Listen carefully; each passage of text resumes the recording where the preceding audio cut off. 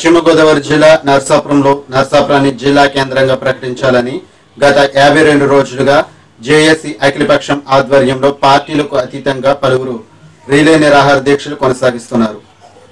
నర్సాపురం మాజీ శాసనసభ్యులు బండారు మాధవ నాయుడు గతంలో నర్సాపురం ప్రజలు తనను శాసనసభ్యులుగా ఎన్నుకున్నందుకు నర్సాపురాన్ని జిల్లా కేంద్రంగా సాధించి వారి రుణాన్ని తీర్చుకుంటానని ఆమరణ నిరాహార దీక్షను చేపట్టారు.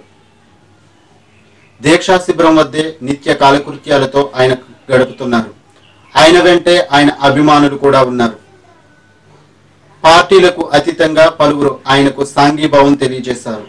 కన్న కొడుకు కళ్ళ ముందు లేకుండా దీక్షా శిబిరం వద్ద ఉండడం ఆయన తల్లిదండ్రులు దీక్షా శిబిరానికి విచ్చేశారు. కన్న కొడుకును చూసి కన్నీటి పర్యంతమయ్యారు.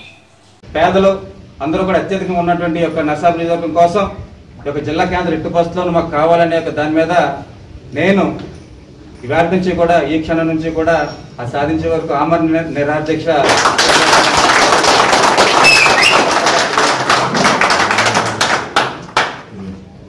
ఇది మీ ద్వారా యొక్క ప్రభుత్వానికి ఆలోచించుకుని మన నష్టాపురం తగు న్యాయం చేయాలి ఎట్టు పరిస్థితుల్లో కూడా ఎట్టి పరిస్థితుల్లోనూ కూడా జీవితకాలంలో ఒకే ఒకసారి